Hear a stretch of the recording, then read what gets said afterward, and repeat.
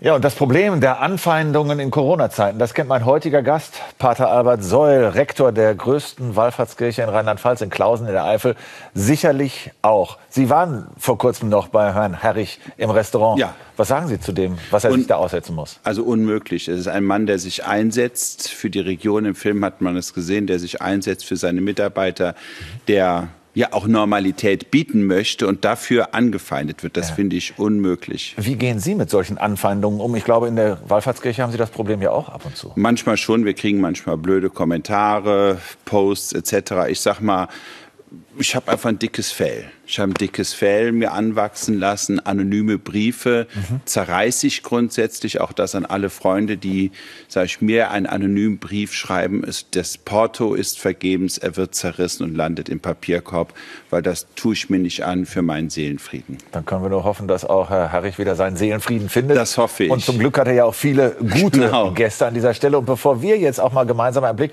auf Ihr Jahr 2021 werfen, gucken wir uns mal kurz an, wie das Jahr gelaufen ist. Und eins können wir, glaube ich, an der Stelle schon mal festhalten. Es war zumindest ein bisschen besser als 2020. Gottesdienst in der Wallfahrtskirche Klausen mit Masken und Abstand. So war Allerheiligen 2021.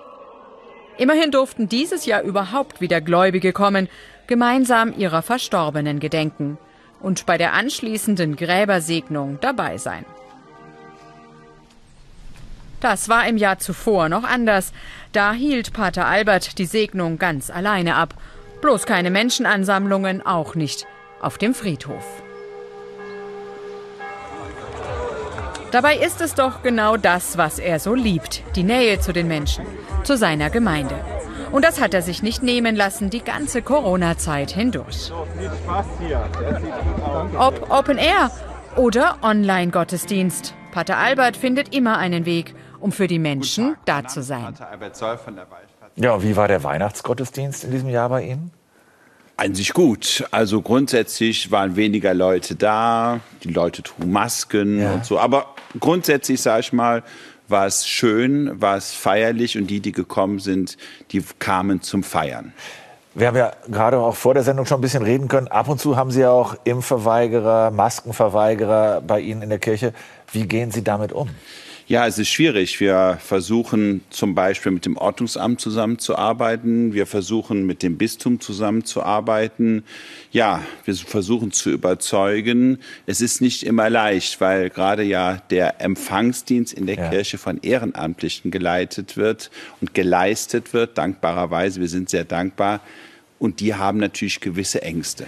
Sind denn diese Menschen überhaupt noch erreichbar? Versuchen Sie noch den Dialog? Ja, also ich habe schon oft mit denen geredet. Es ist nicht immer leicht. Also ich bin ja stehe für den Dialog. Ich stehe dafür, dass wir Brücken bauen. Dafür stehen wir auch in der Wallfahrtskirche Klausen. Also das ist mir ganz wichtig. Aber natürlich, eine Brücke hat auch immer einen Standpunkt, den habe ich auch. Ja, das Schwierige ist, glaube ich, auch der Graben, der durch manche Familien geht in Sachen Corona.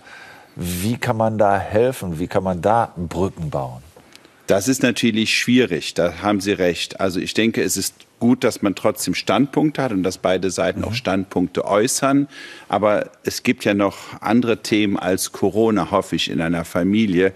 Und äh, das ist zum Beispiel auch für mich ein Rezept, wie ich eigentlich sehr gut durch dieses Jahr gekommen bin, dass ich mich nicht immer nur auf Corona fokussiere, sondern versuche auch mehr zu sehen. Und das hilft. Sind Sie denn auch ein bisschen Corona-müde, kann man das so sagen, nach jetzt fast zwei Jahren? Sagen wir, ich wäre froh, wenn es vorbei wäre, auf jeden Fall. Also wenn wir wieder mehr Normalität haben könnten. Aber ich habe trotzdem immer noch Ideen. Aber wo schöpfen Sie dann die Kraft? um weiter durchzuhalten? Also ich sag mal, als gläubiger Mensch kann ich sagen, da gibt es jemand da oben. Ja. Das ist der eine, das Wichtigste natürlich. Ich habe ein Umfeld, das mich trägt, ähm, meine Tiere, mit denen ich zusammenlebe, die mir immer Kraft geben. Äh, natürlich Freunde, Familie, Mitbrüder. Ich habe einen ganz tollen Mitbruder, mit dem ich zusammen im Pfarrhaus ja eine kleine Gemeinschaft bilde. Und ich denke, das sind so meine Kraftquellen. Was sagen Sie denn Menschen, denn Kirche ist ja auch Seelsorge, äh, die verzweifelt zu Ihnen kommen, die einfach mehr als nur müde sind. Wie kann sie denen helfen?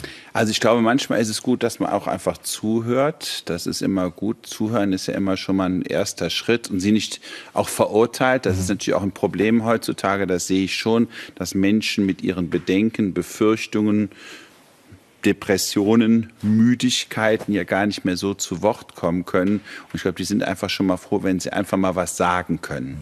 Und was nehmen Sie eventuell auch Gutes mit aus diesem Jahr 2021? Also ich nehme sehr viel Gutes mit. Also Begegnung mit ähm, vielen Menschen, mhm. eben zum Beispiel seelsorgliche Begegnungen, die mir auch trotzdem immer wieder helfen, Gottesdienste, die wir feiern konnten. Auch nochmal die, jetzt ein tolles ehrenamtliches mhm. Team, das sich in der Krise super bewährt hat, sowohl bei den Gottesdiensten als auch bei unserem äh, Kulturprogramm, muss ich sagen, das sind alles Dinge, die mir Kraft geben, die mich auch optimistisch in, das, in die Zukunft blicken lassen. Dann hoffe ich, dass äh, 2022 wirklich ein Jahr ist voller Zuversicht, Hoffnung und viel Gemeinschaft und dass Sie so kraftvoll bleiben, wie Sie immer den Eindruck machen auch.